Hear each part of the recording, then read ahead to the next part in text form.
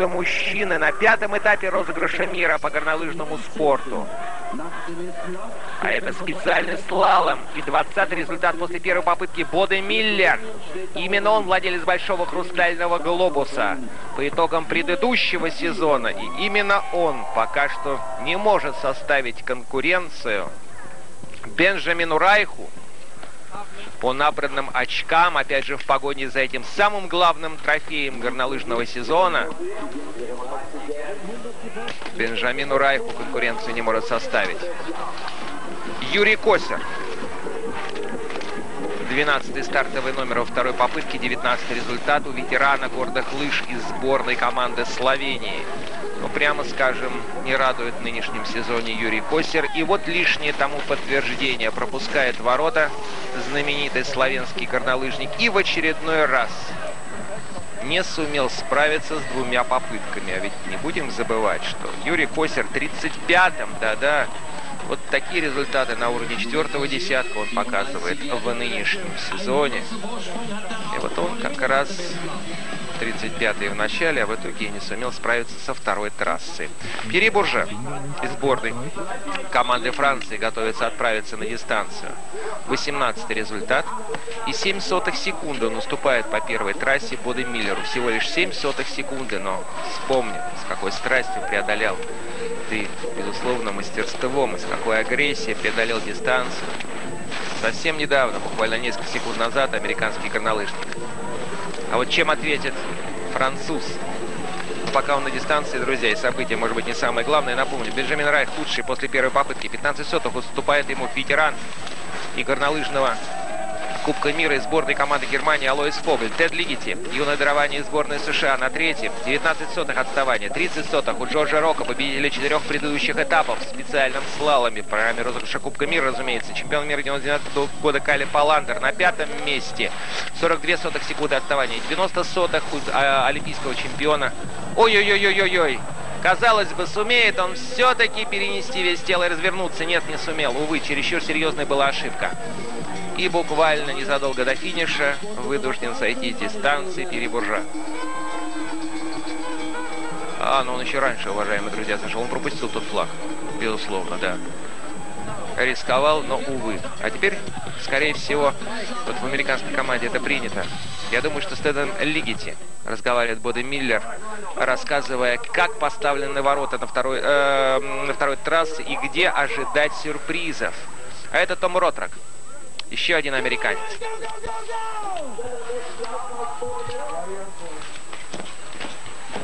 Том Ротрак. Он 78 -го года рождения, больших успехов не добивался.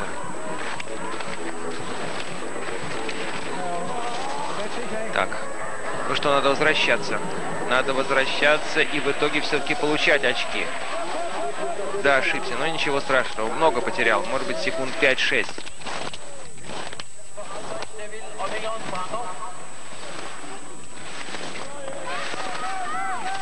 Ну а здесь уже, да. Это чисто психологический момент. Один раз ошибся, начинаешь, что называется, ломать технику, начинаешь торопиться, и в итоге, увы. Так. Майк Иник из сборной команды Канады. Хотя многие мои коллеги называют его Мишель Иник.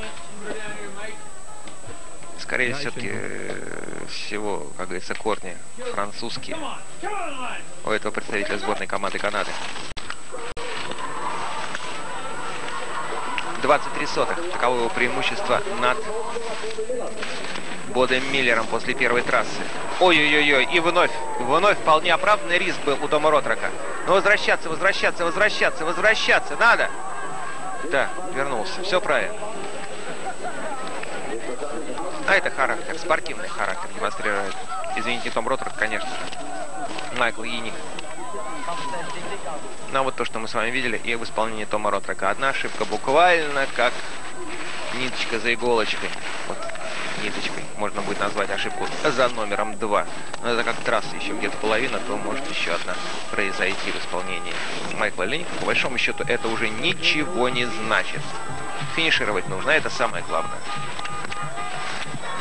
Да, уже в достаточно прогулочной манере завершает дистанцию Майкл Яник аплодируют трибуны, прежде всего за то, что он все-таки то, что он все-таки пересек финишный створ с опозданием в 11 и 10 сотых секунды.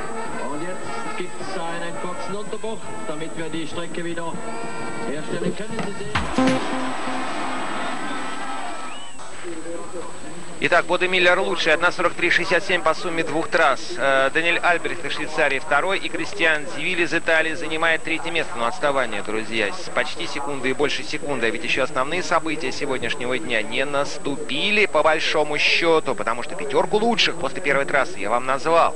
Даже шестерку назвал. Шестым пока что идет Жан-Пьер Видал, олимпийский чемпион. Но внимание, внимание. Вот теперь, теперь давайте-ка посмотрим на человека, который должен, мне так кажется, он должен удивить не меньше, нежели Тед Лигити. Нежели Тед Лигити. Это не...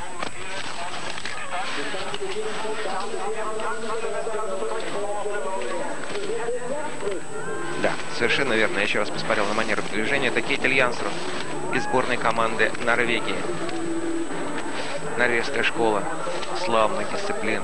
Очень и очень сильно. Олимпийский чемпион 98 -го года. Ой-ой-ой-ой. Ой-ой-ой-ой-ой-ой. Вернуться, вернуться, вернуться. Не 11 секунд будет, конечно, потеряно, как у Майкла Линика. Не 11, чуть меньше. Правда, о победе говорить не приходится. Вот он, Кейтель Янсен. Вот одна из тех самых темных лошадок сборной команде Норвегии, о которой говорят, друзья, уже сегодня. Запомните, Кейтель Янсен и Тед Лигити. Те люди, которые еще ни разу не нюхали атмосферу Олимпиад, но тем не менее, что называется, вот посчитались и на новенького. Могут выступить очень и очень здорово. Здесь говорить о результате даже не приходится. Отставание вы видите, но не получилось на сей раз. Тридцатки, понятно, он остался, очки получит, но это не главное. Маркус Ларсон. Йохан Бролениус, Маркус Ларсон. Это все представители славной школы сборной команды Швеции.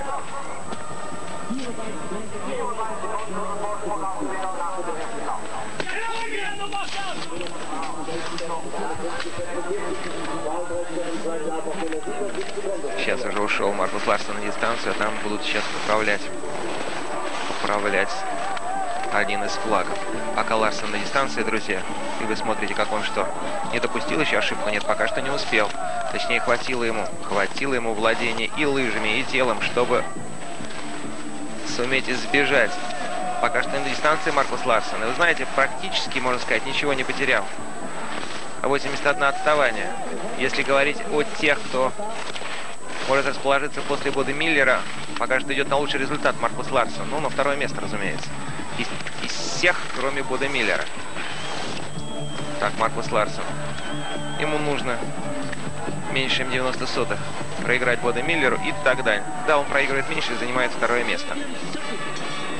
Аксель Лондон Свиндла мы сейчас с вами увидим. Не должен он показать высокий результат в сегодняшнем старте. И пока будем наблюдать, как норвежец.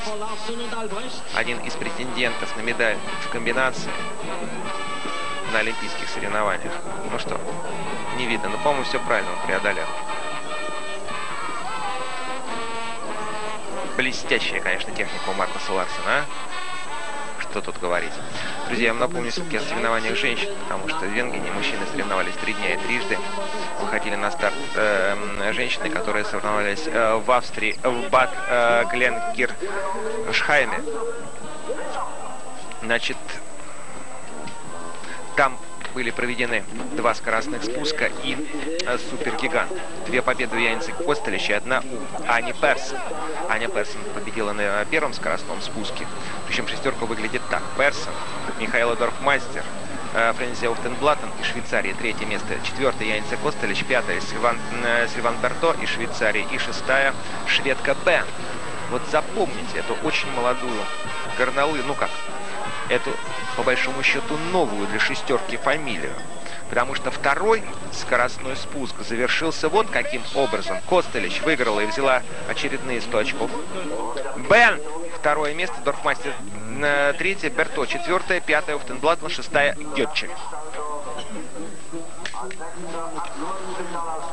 Итак, наше соревнование продолжается. О тех, э, кого интересуют результаты Ани Персон, я пока что рассказываю о женских соревнованиях, которые проводились в Австрии в эти же дни, пока мужчины соревновались в Швейцарии, в Венгене.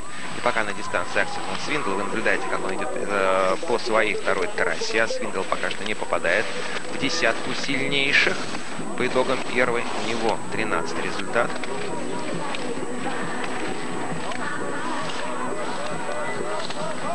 Так вот, кого интересует, как выступила Персон, которая победила на первом скоростном спуске, э, как она выступила на втором, то она, к сожалению, сошла во время второй трассы. А вот Линдси Килдоу, для него трасса в Бад Кленкершхайме Клен оказалась очень и очень неудачной. Да, Линдси Килдо, уже, можно сказать, зашедшая звезда в скоростных дисциплинах, да и вообще в многоборе в женских соревнованиях. На первой трассе в скоростном спуске она была 9 и 18 только лишь на второй. Ну аж чем завершился супергигант, проходи, проходивший там же. Сегодня, как раз сегодня. А посмотрите, Свиндл 66 соток всего Бодемиллеру уступает. Ну, где-то в районе секунды по сумме двух, э, по сумме двух трасс. И пока что у него но результат, образно говоря, пьедестальный. Это Бода Миллер крупным планом. Так вот, сегодня женщины завершили с, э, соревнования в Супергиганте. Костелич еще 100 очков, еще один. Одна высшая ступень подиума у нее, а это значит у нее третья победа на этапах розыгрыша Кубка мира. Одна в Гиганте, одна в Супере и две в скорос... Э, и одна в скоростном спуске. Так вот, Костелич, Дорфмастер, Масницер, э, Кларк, четвертое место, Надя Стигер пятое и Тина Масей Словения заняла шестое место.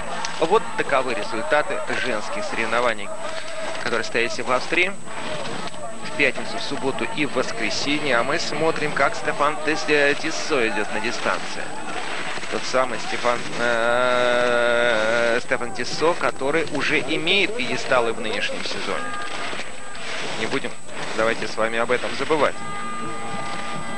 Тисо поднялся на вторую ступень пьедестала почета в Бивер-Крике, уступив понятно кому, Джорджа Рока, ибо на четырех предыдущих этапах, кроме Джорджа Рока, никто на высшую ступень пьедестала почета не поднимался. Максимальное количество очков у него 400 400 возможных. Ну так вот, а, я начал говорить, что Янис Костович и без того увеличил свой отрыв в общем зачете розыгрыша Кубка мира и очень уверенно лидирует. Но кто также уверенно лидирует в общем зачете пока что и Бенджамин Рай. Сегодня может еще приплюсовать 100 очков. Может, конечно. К тому результату, который у него имеется. Пока на счету Бенджамина Райха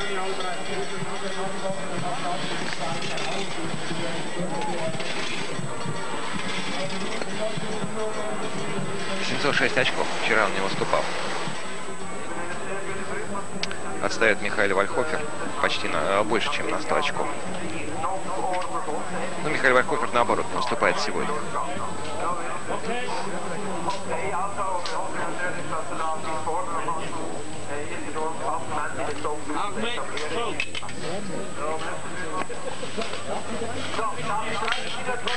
Пока мы посмотрим, как уходит на дистанцию. Эмите Драгшич из сборной команды Словении. Три словенца попали. Даже э, в тридцатку сильнейших попало четыре славянских горнолыжника. Но, вот видите, неудача еще одного постигла и остался точно только Бернард Ваджич который занимает восьмое место после первой трассы. Вот посмотрите. Ну, конечно, конечно. С такого угла проходить этот вираж просто нереально. Нереально. Что, впрочем, и произошло. А вот это вот картинки как раз. Картинки. Скажем так, и швейцарской природы, и кусочка такой горной Швейцарии. Я напомню, из Венгера репортажи на канале, на каналах Евроспорт. Андрей Миров, 22-летний шведский горнолыжник. Любопытно, что о надеждах Андрея Мирова, об олимпийских надеждах пока что очень мало говорится. Мир еще в прошлом сезоне очень неплохо гонялся, но вот в этом пока что у него по большому счету ничего не получается. Вам было понятно, какие тройки по предыдущим четырем этапам, давайте я напомню. Биверкрик, Рока, Тисо, Нелли Гити, Мадонна, Дикампиля, Рока, Райх, Паланта, Краинска Гора, Рока, Гранди, Лигити и Адель Буден, Рока, Лигити, Райх. Да, и в итоге все-таки Андрей Миррер выигрывает у Бода Миллера. Выигрывает. Ну что ж, молодец. По трассе проиграл. Менее, по сумме двух попыток сумел превзойти результат американца. Ну, отставать, вы понимаете. У Бода Миллера. В 1.75. Вот Бенджамина Райх. Хоть что называется, с пропеллером промчись эту вторую трассу сложновато будет превзойти предположим, от Джорджа Рок, который занимает четвертое место, 1.45 по итогам первой трассы отставания Бода Миллера. Это очень, очень большое преимущество. И вот посмотрите, Райнер Хербст. Надо сказать, что уже не первый раз мы видим Райнера Хербста, который попадает в тридцатку сильнейших. Надо сказать, что не очень-то молод горнолыжник. 27 лет. Но опять же напомним, что очень редко в очень юном, можно сказать, 20-летнем возрасте, даже в 21, то 22 попадают в сборную команду Австрии горнолыжники. Там что конкуренция фантастическая место, что на этапе розового Кубка мира, уж тем более в команде, которая будет представлять Австрию в горнолыжном олимпийском турнире. 39 сотых у Мирера выигрывает Хербст. И неплохо, вы знаете, идет. Очень неплохо. Аккуратно. И вы обратили, конечно, внимание, он совершенно не рисковал там, где риск буквально противопоказан. И в итоге 36 сотых секунды. Молодец! Молодец! Это будет лучшее выступление Рейнфрида, Рейнфрида Хербста на этапах розыгрыша мира в нынешнем сезоне. Он уже в десятке.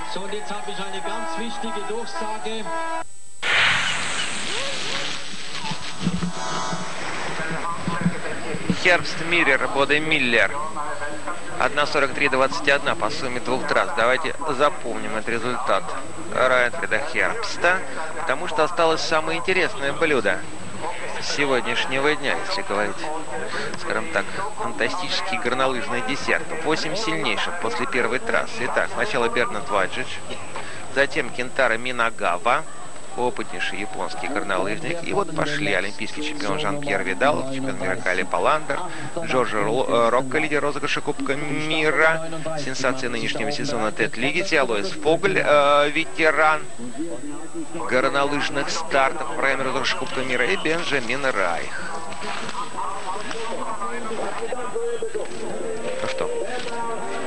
Давайте посмотрим, что сделают последние словенцы из четырех представителей этой сборной команды, которые пробились в тридцатку сильнейших. Так, ну все то же самое, что и предыдущие трое. Практически то же самое. Ну что ж, к сожалению, и Бернард Ваджич не сумел справиться с этой трассой в Венгене. Ну что ж, норвежец Ронгна поставил достаточно сложную трассу. Это муж Тренбаки. Она еще выступает, как вы знаете, в женских соревнованиях. Замечательная, замечательная норвежская слаломистка. Призер чемпионатов мира, кстати говоря. Андрин Флемен Тренбаки вот два имени, которые в предыдущем олимпийском цикле, если когда мы говорили о женской сборной команде Норвегии, вот их называли прежде всего. 18 результат, как вы видите.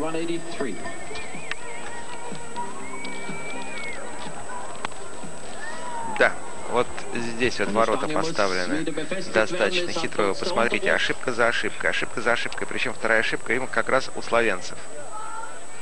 Herbst führt von Miro, Milan, Svindal und Larsen und setzt da seinen Gast. Ну что ж, наконец-то мы увидели без шлема и без очков Хербста.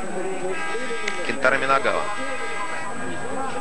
Бакир Сасаки мы с вами говорили, друзья, во время рассказа о первой трассе, рассказ проистекал и показ, соответственно, на канале Евроспорт 2. И вот есть возможность поговорить о Кентара Минагава. Сасаки в нынешнем сезоне выступает однозначно лучше.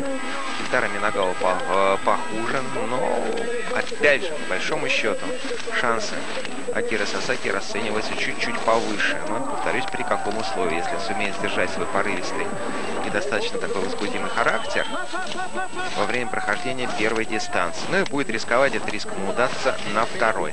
Вот тогда Кира Сасаки, как уже сейчас предполагая шансы японской мужской сборной славами и шансы Сазаки оценивать специалистом может подняться очень и очень высоко. Ну что, сумеет дойти, дойти до конца этой дистанции Кентара Минагава? Вроде получается. В какой-то момент показалось, что он уже был на грани того, чтобы ошибиться в очередных воротах. Нет, все в порядке.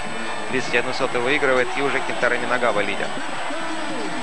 Наконец-то вот мы увидели тренерский штаб сборной команды Японии. Акира Сасаки дважды огорчил вот тренера японцев, очень эмоционально.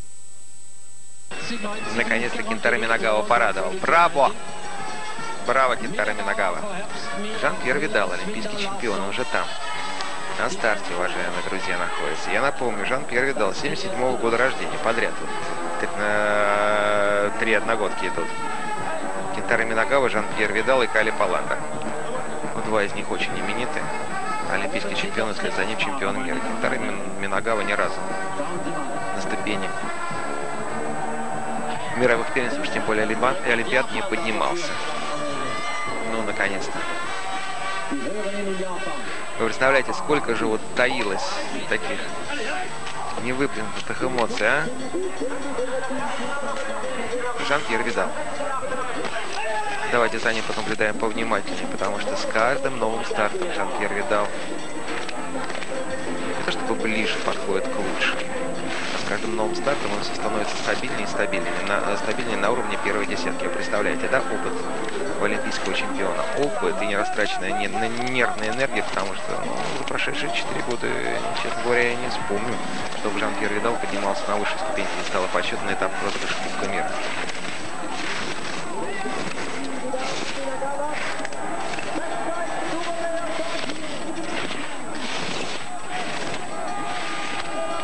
Всего лишь один этап на его счету, и он украинский город в 2002 году победил.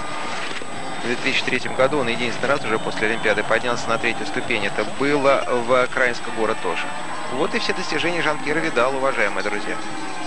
Ну, отставание вы видите в секунду 38, и вторая трасса не удалась Жан-Пьер Видал, он достаточно расстроен. В самом начале, как только прошел первые дистанции, когда крупно его показали, ну не... Так, так, не очень радостным он был.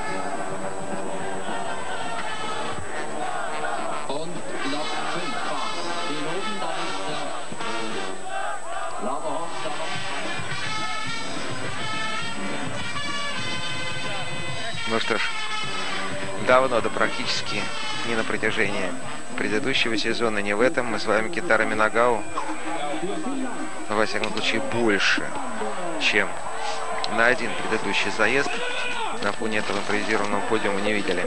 Кали Паланта.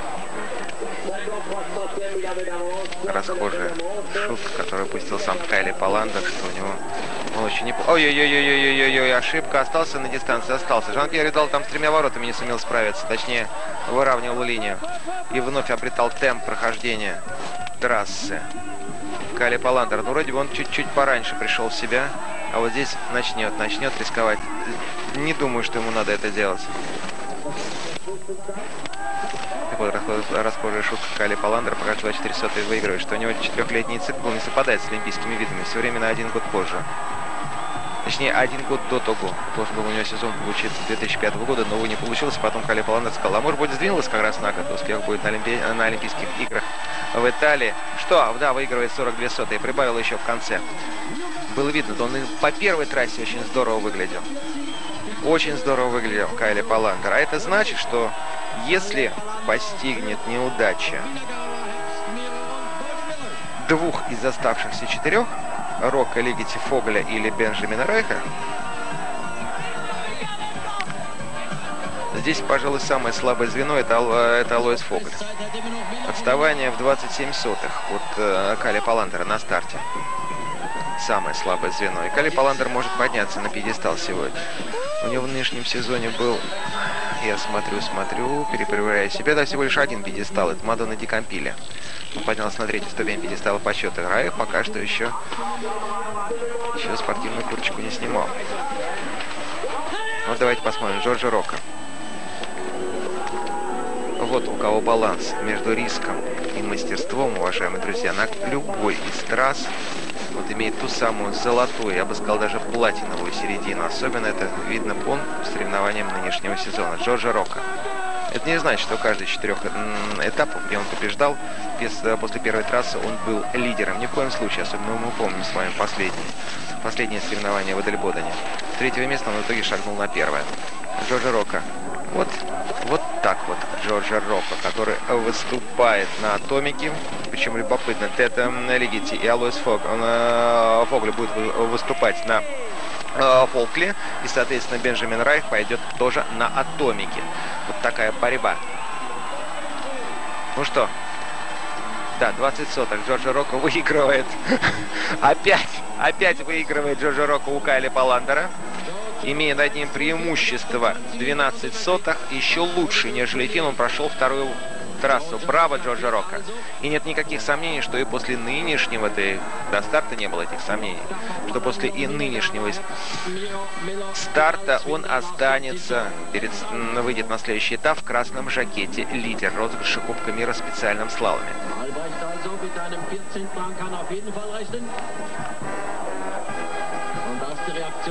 Что, кого там настраивают?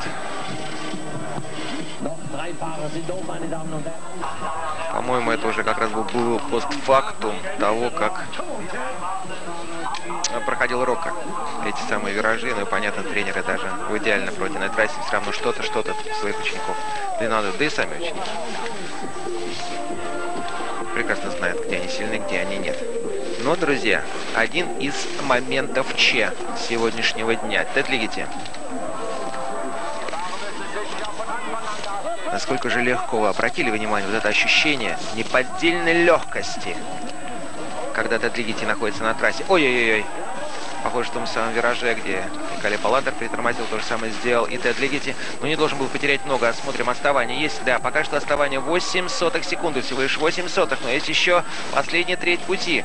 Последняя треть. Это еще 20 секунд будет находиться на трассе Тед Легити. Торопится, торопится. Чувствует, что чуть-чуть, но он уступает Джорджа Рока. Да понятно, что каждого из них, каждом из них буквально хронометр монтирован. Ну что, и вот что значит опыт. Вот что значит мастерство Джокер, э, э, Джорджа Рок. Как он вторую часть дистанции прошел, а? Как будто нарисовал урок чистописания. Когда-то мы об этом говорили совсем недавно. Причем, когда Михаил фон Гринген шел по дистанции слалома гиганта.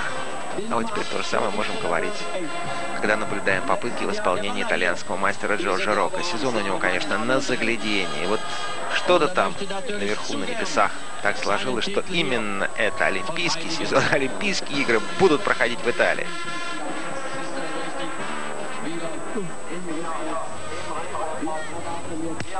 Ну что, Рок уже на подиуме, как вы понимаете. Рока на подиуме. Алоис Фоголь. Второй результат после первой трассы. Алоис Фоголь. Пока что будем говорить только о пьедестале. Еще двое впереди. Алоис Фоголь и Бенджамин Райх. Но я имею в виду, попытки еще не состоялись. О, какова нагрузка у Алоиса Фогля, а? Один этап на его счету есть, причем он выиграл его совсем-совсем недавно.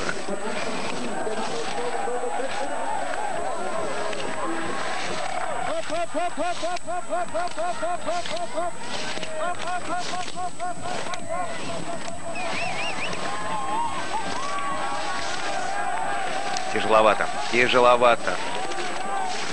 Давайте мы с вами вспомним, в 2005, в 2005 году Луис Фогель именно в Венгене доминировал-то, а? Именно в Венгене. Он любит этот альпийский город и я думаю, что трасса и город платят ему тем же. Итак, Джорджок 1.42.28, 1.42 что? Плюс 51 и третий результат. Третий результат. Ну что ж, будет ли Алойс Фогль на пьедестале или нет, зависит от, Бенджами... от Бенджамина Райха. Лигити поздравляет. Кого он поздравляет? Поздравляет Джорджа Рока. Здесь же Кали Паландер. Ох, ситуация какая любопытная, а? Итак, претендует на пьедестал Паландер, Рока Лигити, Фогель Райх. Auch hier schon Sieger beim Leiberhauser mit knapp 20 Jahren zum ersten Mal. Я не думаю, что в рядах сборной команды Германии большая радость, потому что быть третьим после, перед тем, как Бенджамин Райх уйдет на дистанцию, это, друзья, достаточно невелики, невеликие шансы на то, чтобы остаться на этом самом третьем месте. Ой-ой-ой-ой, да, велики, велики. На третьих воротах Бенджамин Райх. Ну, бог ты мой, все было в его руках, ногах, голове, да в чем угодно. Вот вам и ответ. Джорджи Рокко выигрывает пятый этап. Фантастика! Ну, кто мог предположить точно что-то там на небесах, что вот ведет Джорджи Рокко к этой победе, заставляя его главных конкурентов ошибаться, совершать ошибки, ну, в самый неподходящий момент. Джорджи Рокко, пятый этап. Ну, сумасшедшее, сумасшедшее достижение, тем более в мужских соревнованиях. Да. Ну, развязка-то, а? И Алоис Фогли остается на пьедестале. Первые ворота. Вторые. Ну, первые ворота, вторые. И вот, пожалуйста. В несколько миллиметрах. В нескольких миллиметрах Бенджамину Райху не удалось провести лыжу, а так как надо. О, бог ты мой, какая же жалость. Он не получает свои завоеванные, ну не завоеванные, можно сказать, гарантированные там 180-60 очков. Да, конечно же. Раздражение, которое испытывает Бенджамин Райх. Великое раздражение. Ну что поделаешь? Джорджа Рока. Пятый этап подряд. 500 очков из 500 возможных. Вот Кентара Минагава его поздравил. Ну что ж, друзья, ну и мы, конечно же, поздравляем Джорджа Рока. Что там говорить? Я Луиса Фогля поздравляю. И Теда Лигити поздравляем. И Кали Паландера поздравляем. Достойное выступление лучших. Рокко, Паландер, Фогль, Минагава, Лигити, Херст. Вот такова шестерка лучших. Несколько неожиданная, по большому счету.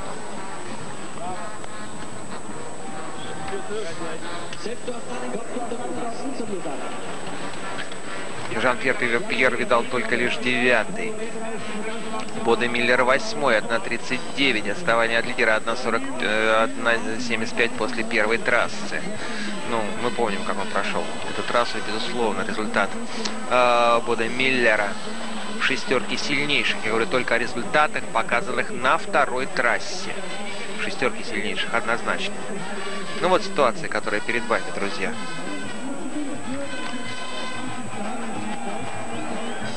И вот еще разочек, крупным планом, как Джорджа Рока чувствовал себя на этой второй трассе сегодня.